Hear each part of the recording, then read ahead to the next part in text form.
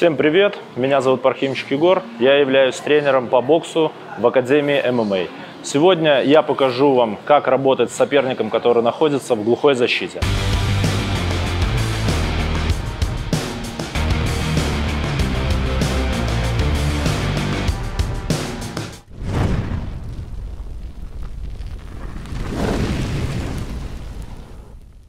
Рассмотрим ситуацию, когда соперник работает от глухой защиты.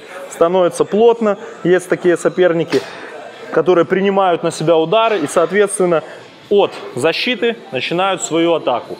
Как нанести максимальный урон по сопернику, находящемуся в глухой защите.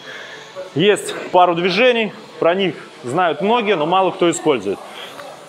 Одно из движений – это срыв руки соперника. Срываем ручку вниз, обратите внимание, левое плечико выведено. Срываем левую руку, левой рукой его переднюю, правой наносим удар в голову.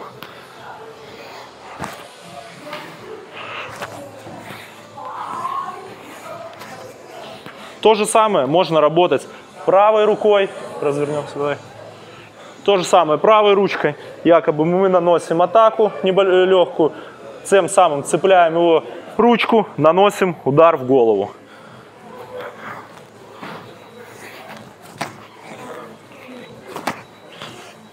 Также можно и по корпусу. Срываем его руку, наносим удар в корпус.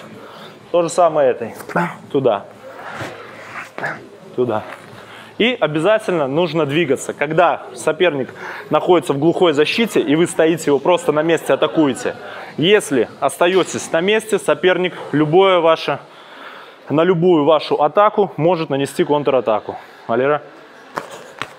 Вот-вот-вот. Когда мы двигаемся, наносим постоянно атаку, постоянное передвижение, срываем руку, ходим со стороны в сторону, мы немного сбиваем ему, э, сбиваем ему план его контратаки.